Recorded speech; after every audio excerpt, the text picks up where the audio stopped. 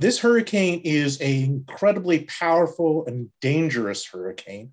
Right now, it has 150 miles per hour winds, which are, if it continues at this point, at this, if it continues with this strength when it makes landfall, which should be in less than 12 hours, it will go down as tied for fifth strongest landfalling hurricane in the United States history, uh, with records going back to 1850.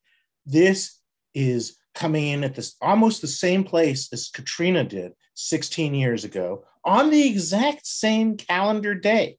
But the difference is this is stronger than Katrina, but it is nowhere near as large. This is going to be the 17th tropical storm or hurricane to hit the United States in the last two years. That's an incredible amount. It's likely to cause issues on the Mississippi River, which is crucial to the economy. And some of this uh, meteorologists I've talked to are predicting that barge traffic may be stuck for weeks on the Mississippi River. Technically, this is the second time that Hurricane Ida rapidly intensified. Um, the definition is 35 miles an hour uh, in 24 in 24 hours. It's done it twice. It did it Friday and it did it today.